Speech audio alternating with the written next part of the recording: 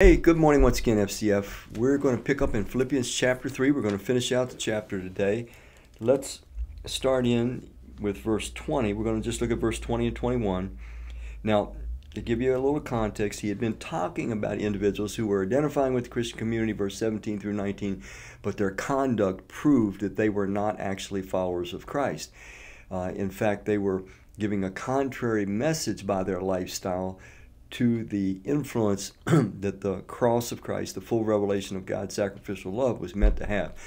That revelation of God is meant to win our trust and break the power of sin in our life. It was not having that. So these people were running around identifying as Christians, but still living sinfully. Probably they were saying things like, well, it doesn't matter. Nobody's perfect. You know, we're just forgiven. You know, we're just all waiting for God to, to change us. So Paul is going to contrast those individuals now in verse uh, 20 and 21 with those that are authentic followers of Christ. He says, But our citizenship, meaning we that are real followers of Christ, our citizenship is in heaven, and we eagerly await a Savior from there, the Lord Jesus Christ, who by the power that enables him to bring everything under his control will, will future tense, transform our lowly bodies so that they will be like his glorious body. First part, he says, Our citizenship is in heaven, and we eagerly await a Savior from there. So Paul is saying that that first group of people who mouthed identification with Christ, but were living just like everybody else on earth, self preservation, self gratification, just kind of living to, to bring as much pleasure to themselves as they could, avoid as much pain.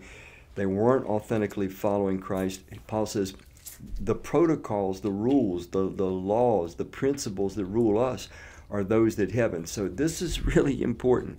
A Christian is one that has caught the vision of the beauty of the life that God Himself lives and the way that God Himself loves. And so we, because we have had our hearts won over by the beauty of the way God lives and the way that He loves, we start living that way now.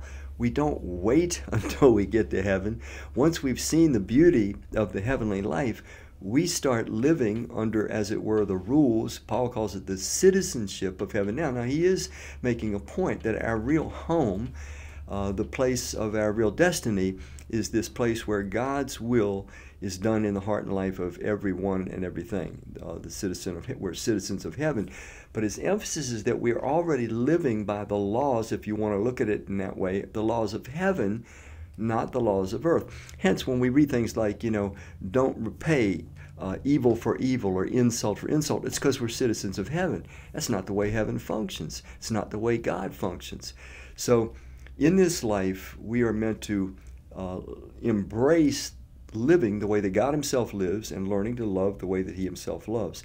Now, then He adds on this special part. He says, But we're a people that we're, we're fixated on a hope. We are hoping for the second intervention of God in Christ in human history. He says, We're, we're waiting eagerly for a Savior to return, meaning the, the second coming of Christ. And he says, when he returns, he's going to take these physical bodies of ours and transform these physical bodies like unto his glorious body, meaning the physical body that Jesus had when he rose from the dead. You could remember he he could uh, walk through walls with no problem. He could ascend into heaven in a cloud. He could also eat fish with his buddies.